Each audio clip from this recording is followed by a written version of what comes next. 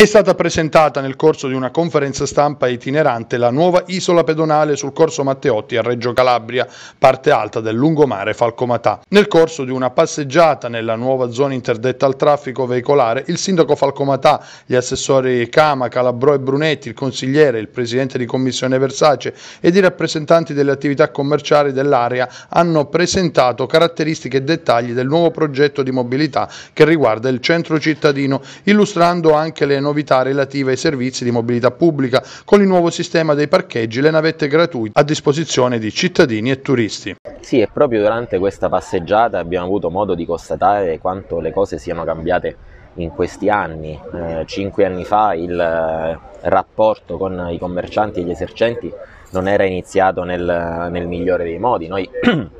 come amministrazione siamo stati costretti a chiuderli eh, i gazebo per alcune problematiche di carattere amministrativo, oggi ci ritroviamo invece a presentare un progetto proposto da, dagli stessi commercianti, dagli stessi eh, imprenditori che va a, eh, nella direzione di realizzare sperimentalmente quest'isola pedonale, quindi un cambio di passo radicale nel, nei rapporti, nel dialogo e nella sinergia fra gli imprenditori, i commercianti, le associazioni del territorio e l'amministrazione comunale. Questo ci dice una cosa su tutte, che le cose si possono e si devono fare insieme e quando eh, ognuno di noi che eh, con le sue diverse responsabilità guarda alla crescita della città e al raggiungimento del bene comune, si trova a lavorare insieme agli altri, possono realizzarsi progetti eh, come questo che fino a qualche anno fa sembravano davvero impensabili. Ma eh, fin dal nostro insediamento abbiamo condiviso questo progetto che non parte ovviamente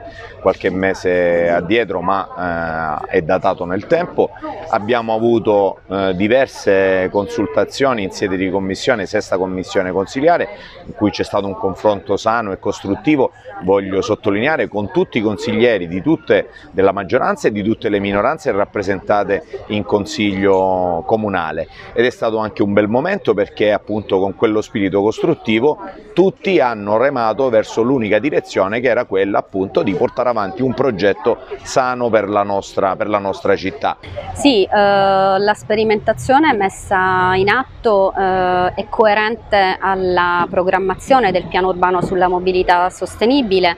e pertanto eh, tende quindi alla pedonalizzazione del centro storico eh, che eh, con questa sperimentazione è graduale. Quindi eh, abbiamo eh, integrato per disincentivare proprio l'arrivo in città con l'automobile abbiamo implementato e integrato con il sistema bus navetta eh, che eh, quindi eh, garantisce eh, diciamo, al cittadino eh, di poter lungo tutto l'arco della giornata raggiungere sia il luogo di lavoro ma comunque tutti i poli e diciamo, i nodi più importanti della città sono al servizio e sono fruibili quindi attraverso questo bus navetta.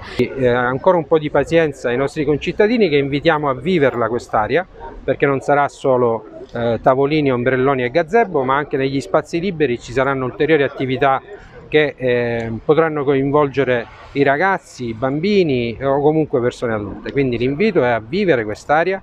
eh, magari criticarci anche in positivo per stimolarci nel fare meglio la prossima volta